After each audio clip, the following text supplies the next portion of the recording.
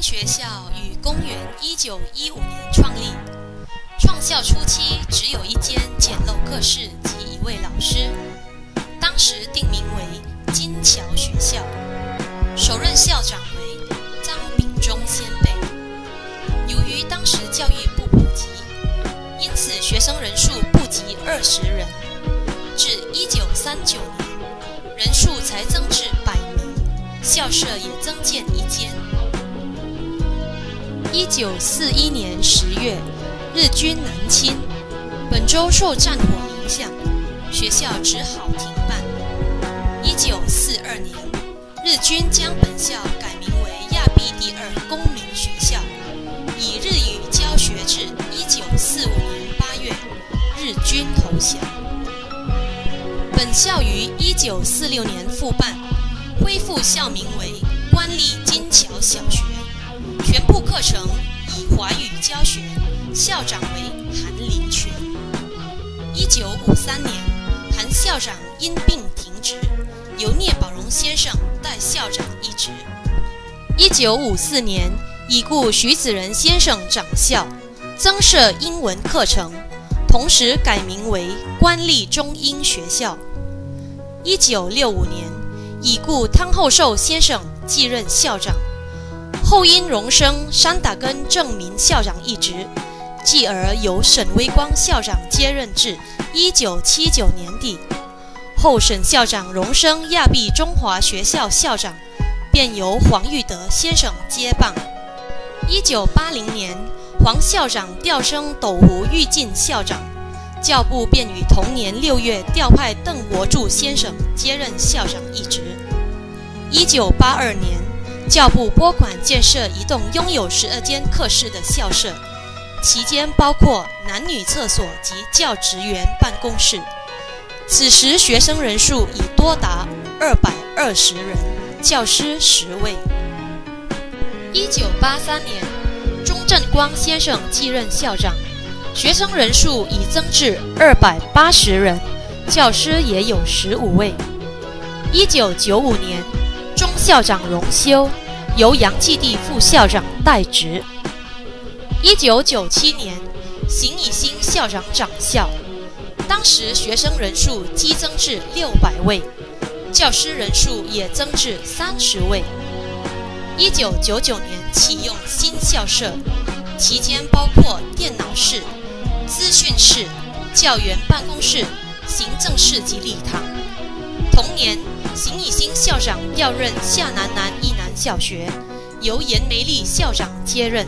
二零零二年，由政府拨款建设的电脑资讯室正式启用，并恭请当时副首相 Y.A.B. 拿督阿都拉巴达威主持开幕仪式。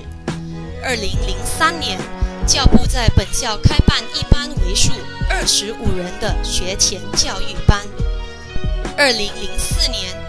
获得本州资讯及公寓发展部长，也是本校法律顾问 Y.B. 拿督余莫斋医生拨款改建校门及篱笆。二零零五年，Y.B. 拿督余莫斋医生再次拨款建候车亭。同年八月尾，严梅丽校长荣休，由王桂芳校长接任，学校也在当时设立了科学室及辅导室。六年设立保安亭，以维持学校治安。二零零八年，Y.B. 拿督于莫扎医生三度拨款建多用途活动凉棚及篮球场。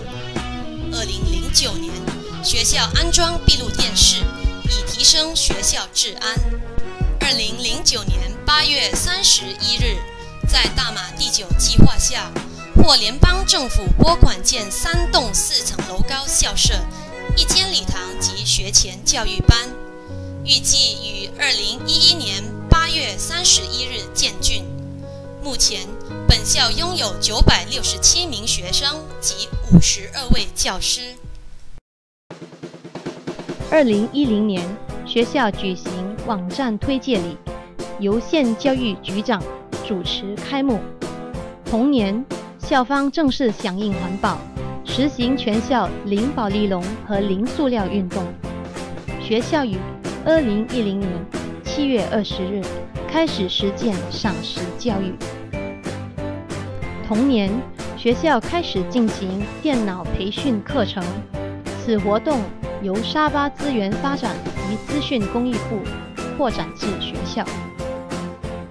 二零一一年，本校资料中心荣获槟南邦县亚庇区最佳资料中心冠军。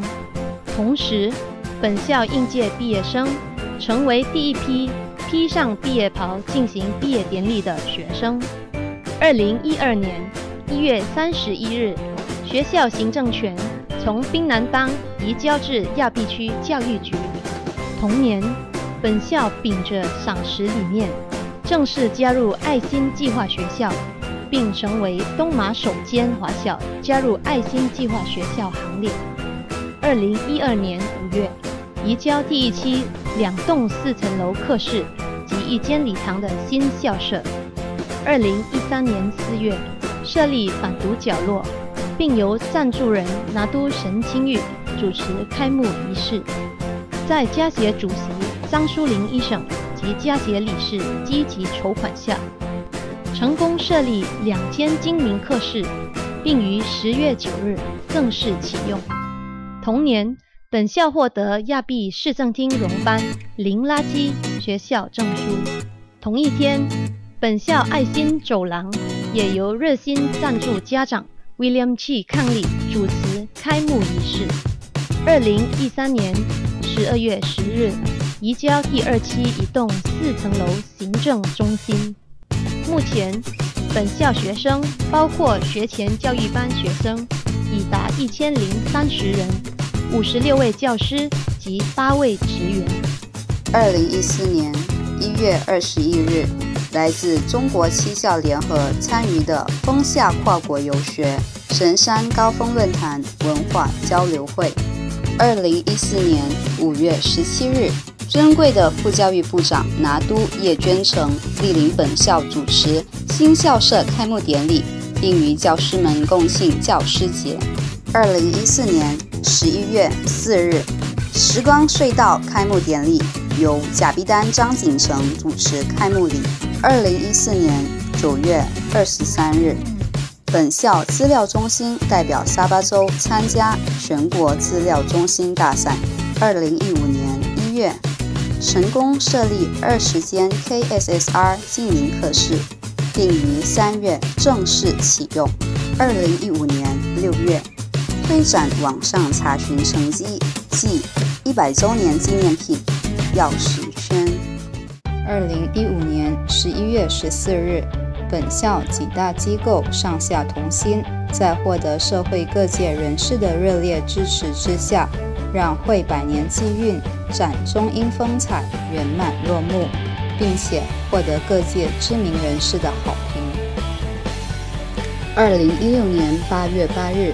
婆罗洲自然史出版社董事经理拿督曾昭伦为所赞助的资料中心婆罗洲资料站主持开幕。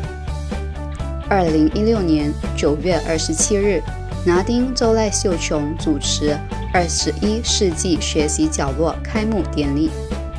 二零一七年二月八日。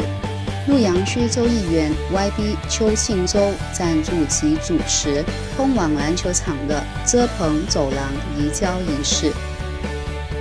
二零一七年三月三十一日，大马永续能源发展机构主席拿督与诺仔医生为本校树莓派士主持开幕及推展礼。